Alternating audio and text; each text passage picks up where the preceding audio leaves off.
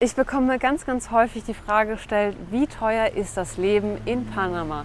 Und darauf wollte ich heute mal eingehen anhand von unseren Kosten.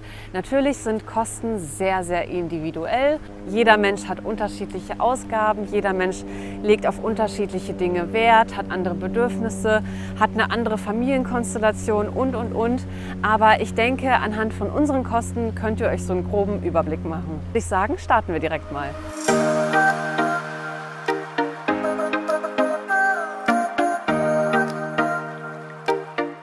Hola ihr Lieben und voll schön, dass ihr wieder eingeschaltet habt zu einem neuen YouTube-Video. Ich bin Christina und ich wohne in Panama und ich sitze hier gerade am Panama-Kanal, sieht man hier im Hintergrund.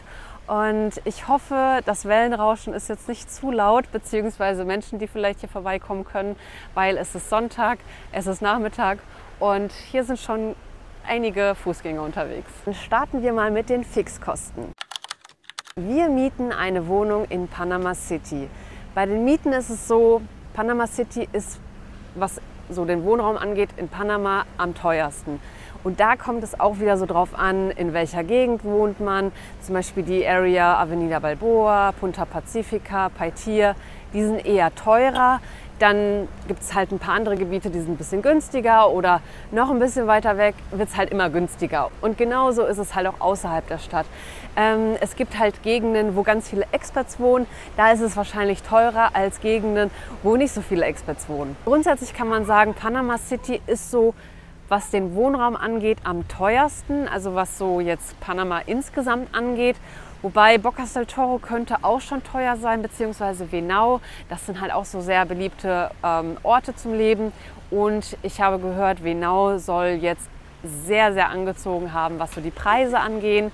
Ähm, da müsstet ihr euch dann einfach mal schlau machen an entsprechenden Seiten, was so Wohnungen zum Mieten oder Kaufen in den Gegenden kosten. Wir wohnen an der Avenida Balboa, das heißt, die Wohngegend, wo wir wohnen, ist ein bisschen teurer als andere Wohngegenden. Uns ist das sehr bewusst und wir könnten wahrscheinlich, wenn wir einfach ja mit dem Auto zehn Minuten weiter rausfahren würden, deutlich günstiger wohnen. Aber wir haben gesagt, als wir noch in Deutschland gelebt haben, wir wollen unbedingt eine Wohnung mit Mehrblick haben und das war uns sehr, sehr wichtig. Deswegen nehmen wir diesen höheren Preis auch in Kauf, weil wir wollten das einfach und für uns ist das Lebensqualität und dafür zahlen wir dann auch. Unsere Wohnung ist eine Drei-Zimmer-Wohnung obwohl in Panama sind es zwei Zimmer, denn das Wohnzimmer wird nicht als Zimmer gerechnet, sondern wirklich nur Schlafzimmer. Wir haben ein Schlafzimmer, wo wir auch drin schlafen und das zweite Schlafzimmer, welches wir als Büro nutzen. Unsere Wohnung ist laut Vertrag 170 Quadratmeter groß, was aber nicht stimmen kann. Also was das angeht, muss man immer aufpassen, was die dann in den Vertrag reinschreiben, ähm, weil das kommt oft wirklich nicht hin.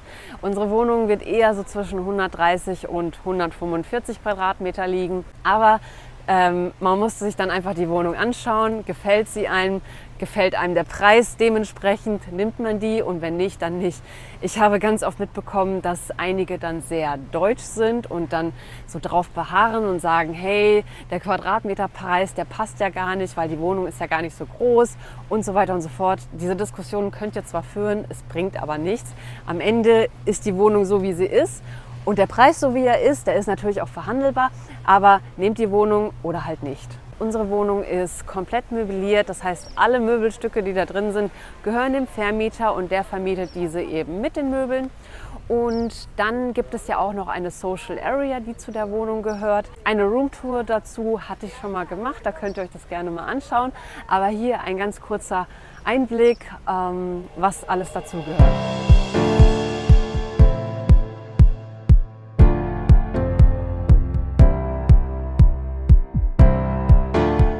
Wir zahlen dafür nicht extra, wir können alles kostenfrei nutzen. Unsere Wohnung kostet 1800 US-Dollar im Monat. Plus wir zahlen 50 für den zweiten Stellplatz. Wir haben einen Stellplatz auch für unsere Wohnung.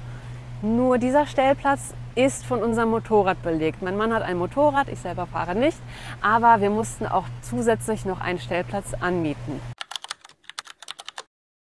Die Nebenkosten, also Warmwasser und Gas, ist auch mit in der Miete mit drin. In Panama ist es sehr häufig so, dass es keine gesonderte Abrechnungen gibt, also so wie man das in Deutschland kennt, dass am Ende des Monats, äh, ich meine Ende des Jahres, abgerechnet wird und geguckt wird, ähm, wie war so der Verbrauch. Das ist hier sehr, sehr unüblich und bei uns zum Beispiel gibt es das halt auch nicht. Wir zahlen unsere Miete und die ist inklusive Nebenkosten, inklusive WLAN. Dazu komme ich aber später nochmal. Und wir zahlen quasi nur noch den Strom extra. Wir zahlen 27 Cent pro Kilowattstunde. Im Monat kommen wir da auf 120 US-Dollar, denn wir haben zwar keine Heizkosten, aber unsere Klimaanlage läuft ja das ganze Jahr und die läuft mit Strom. Ich glaube, wir haben eine Klimaanlage von unseren dreien auf jeden Fall durchgehend an. Das heißt, ja, die Klimaanlage läuft eigentlich den ganzen Tag und jeden Tag. Ganz, ganz selten läuft sie halt nicht, wenn es irgendwie kühler draußen ist und wir einfach die Fenster öffnen. Aber die meiste Zeit läuft sie. Und deswegen sind die Stromkosten auch etwas höher. Und da liegen wir bei 120 US-Dollar im Monat. In unserer Miete ist auch Internet vorhanden. Aber wir zahlen Internet extra, weil uns war das Internet zu schwach. Ähm, wir beide arbeiten von zu Hause aus, das heißt, wir brauchen schnelles Internet. Ähm, der Upload und der Download sollte sehr gut sein und deswegen haben wir gesagt, okay, wir kommen damit nicht zurecht, was der Vermieter uns stellt. Wir buchen da was extra zu und zahlen dafür 50 Dollar im Monat. In unserer alten Wohnung beispielsweise hatten wir keinen extra Vertrag abgeschlossen. Da war das WLAN, das der Vermieter gestellt hat, ausreichend. Aber in der aktuellen Wohnung war es halt einfach zu schwach und dementsprechend haben wir da nachgerüstet. Zusätzlich zum WLAN kommen auch monatlich VPN-Kosten dazu. Ich arbeite grundsätzlich im Homeoffice, aber ganz, ganz häufig arbeite ich auch im Café, also in einem öffentlichen WLAN. Und um mich da einfach zu schützen, nutze ich da eben VPN und das kostet dann im Monat 3 Euro oder 3 US-Dollar. Eins von beiden. Beim Thema Internet haben wir auch noch Internetkosten für unser Handy. Wir beide zahlen 20 im Monat für Datenvolumen ohne Limit. Und ich finde, das ist eigentlich ein fairer Preis. Wir zahlen wirklich 20 US-Dollar äh, pro Monat und ja, können so viel surfen, wie wir wollen. Und wenn mal das WLAN ausfällt, was ab und zu mal passiert, dann ist es super praktisch, weil wir eben einen anderen Anbieter haben als unser WLAN und können dann einfach mit dem Hotspot trotzdem weiterarbeiten. Wir haben ein Auto und ein Motorrad. Und ja, unser Auto ist schon sehr kostspielig. Also wir zahlen so im Monat an Maintenance ungefähr 100 US-Dollar. Also an unserem Auto ist immer irgendwas. Unser Auto ist ständig in der Werkstatt oder braucht irgendwas. Ähm, dann ist es auch so, dass der Verschleiß in Panama auch viel höher ist als beispielsweise in Deutschland aufgrund des Wetters. Es ist hier halt extrem feucht, also die Luftfeuchtigkeit ist sehr, sehr hoch. Ähm, ja, und die Straßen sind hier jetzt auch nicht ähm, so gut wie in Deutschland. Du hast halt sehr, sehr viele Schlaglöcher und, und, und. Und wir zahlen eben an Maintenance wirklich 100 US-Dollar im Durchschnitt. Das Motorrad ist deutlich günstiger. Und dazu kommt dann auch noch Sprit. Äh, die Spritpreise in Panama sind deutlich günstiger als in Deutschland. Ähm, wir zahlen so um die 100 US-Dollar fürs Tanken, sei es jetzt fürs Motorrad als auch fürs Auto, also insgesamt 100 US-Dollar ungefähr im Durchschnitt. Ähm, das liegt einfach daran, dass wir hauptsächlich in der Stadt fahren und in der Stadt schluckt unser Auto 30 Liter. Wenn wir außerhalb der Stadt mal zum Strand oder so fahren, dann ist es halt äh, durchschnittlich weniger, aber innerhalb der Stadt mit Stop and Go sind es halt echt schon so 30 Liter. Gott sei Dank ist der Spritpreis in Panama günstig, weil ansonsten ja, wäre es schon echt teuer. Thema Steuern fürs Auto ist auch viel einfacher gehandhabt in Panama als jetzt in Deutschland. Da ist es einfach so, hast du ein Auto, zahlst du 29 im Jahr, hast du ein Auto mit Four-Wheel Drive, zahlst du 44 im Jahr, hast du ein Motorrad, zahlst du glaube ich 18 oder so im Jahr. Also zahlen wir für beides im Jahr 60 US-Dollar, roundabout. Mein Mann wusste jetzt nicht ganz genau, was das Motorrad kostet, aber ähm, ich glaube, das waren so 18 oder 19 oder 20, also wirklich nicht mehr. Dann kommen auch noch Mautgebühren dazu. In Panama gibt es so private Autobahnen, wo man eben so eine Mautgebühr zahlen muss. Wenn man zum Beispiel zum Flughafen fährt, ähm, da zahlt man dann eine Gebühr. Wir fahren aber tatsächlich gar nicht so häufig über diese Mautstraßen. Ähm, ich habe mal so hochgerechnet, das werden wahrscheinlich so 5 Dollar im Monat sein. ähm, maximal zehn, aber wir fahren da wirklich nicht so häufig lang. Wir hatten uns aber mal eine Wohnung angeschaut, die ja in einer Gegend ist, wo es einfach sehr bequem wäre, immer die Mautstraße zu nutzen, um dann schneller im Stadtzentrum zu sein, beziehungsweise das war jetzt nicht ganz so weit und das wäre, glaube ich, auch nur eine Fahrt von zwei, drei Minuten über diese Mautstraße, aber die Kosten wären trotzdem da und das müsste man dann auch mit bedenken, wenn man zum Beispiel so eine Wohnung mietet, dass dann im Monat einiges dazu kommt, weil wenn man da wirklich jeden Tag mehrfach langfährt, läppert sich das natürlich. Dann kommt auch noch Uber dazu. Wir nutzen ganz, ganz häufig Uber. Das ist quasi wie ein Taxi, nur eben über eine App und das sind dann halt private Fahrer, die von A nach B eben fahren. Ähm, das nutzen wir tatsächlich auch relativ häufig, obwohl wir ein Auto haben und obwohl wir ein Motorrad haben. Einfach weil ja, da wo wir hinwollen, gibt es keine Parkplätze oder da war das, wäre das Parken einfach teurer, als wenn wir mit dem Uber fahren würden. Oder aber ähm, wenn wir eine Bar fahren und dann was trinken möchten und dann nicht wieder zurückfahren wollen. Was auch immer, Uber fahren ist wirklich relativ günstig in Panama. Also im Vergleich zu Deutschland, also Taxi in Deutschland, ähm, zahlt man wahrscheinlich nur ein Drittel davon oder wirklich nur einen Bruchteil davon. Und wir haben mal so überlegt und ich glaube, wir zahlen jeder so 50 US-Dollar im Monat.